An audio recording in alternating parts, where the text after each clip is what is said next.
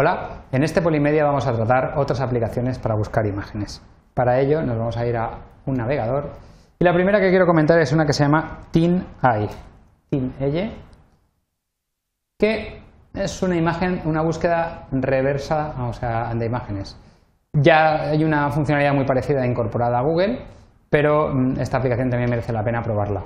Eh, eh va indexando imágenes todos los días y lo que nos permite es Imaginemos que hemos encontrado un cuadro que no sabemos ni de quién es ni cómo se llama, pero tenemos una imagen que podemos tener en nuestro disco duro o podemos tener la URL de la imagen. Entonces, si le damos aquí,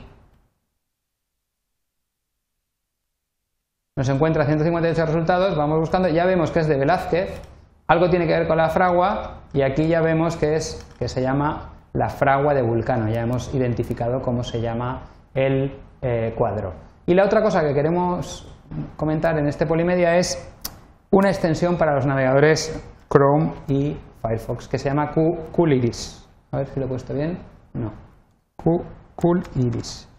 Lo mejor es buscarlo en, las extensiones, por ejemplo, que son Chrome Extensions.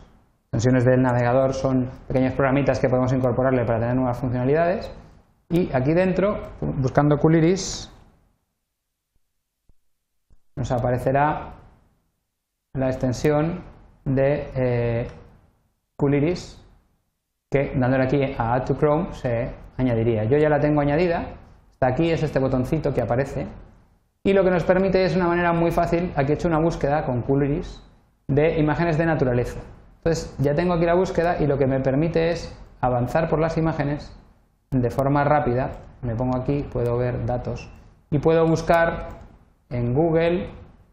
Luego tenemos también otras versiones que todavía no están. Esta solamente es búsqueda de imágenes en Google, pero existen también en Bing, en, varios eh, buscadores distintos.